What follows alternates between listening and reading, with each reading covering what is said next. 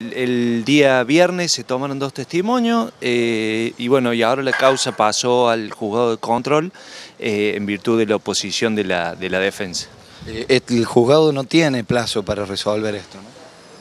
El juzgado no, es un plazo ordenatorio, pero generalmente resuelven en, forma bastante acelerada. ¿Sobre todo porque se trata de una prisión? Sí, sí, sí, sí. Porque... ¿Cómo marcha eh, la pesquisa, sobre todo teniendo en cuenta de que hay todavía algunas opiniones cruzadas a propósito de la posición de Eneas al momento del impacto y también de los posibles acompañantes o no que haya tenido Massimino? Bueno, respecto a los acompañantes, surgió del testimonio de estas dos personas del, del viernes que, bueno, declararon justamente que en el lugar del hecho vieron que el imputado iba acompañado de otras dos personas eh, pero bueno, eso está, queda sujeto también a la investigación fiscal, ¿no? ¿Cree usted que esto les eh, haría eh, que, tengan una responsabilidad, una coautoría?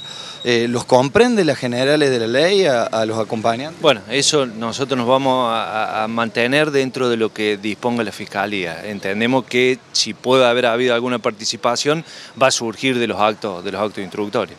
Pero hay que ver en qué circunstancias, porque soy yo el que conduzco y a lo mejor te llevo conmigo y vos no, no podés eh, influir en que yo me detenga. O sí, por eso te digo, hay que ver eh, con el curso de la investigación y de los días qué se determina respecto a estos acompañantes. Distinto sería que en el momento que lo encuentran a Massimino, la persona que venía en el auto sea la misma que estaba con Massimino, ahí ya sería Y bueno, pero son todos supuestos, o sea, lo, que hay que hacer es ajustarse a lo que a la investigación y ver qué surge de la misma, ¿no? ¿Está conforme con el trabajo del fiscal, sobre todo porque no está acá habitualmente, pero está conforme? Sí, pero, pero se han cumplido todos los plazos normales y legales dentro, de, dentro del proceso. ¿Cree que restan muchas personas por comparecer?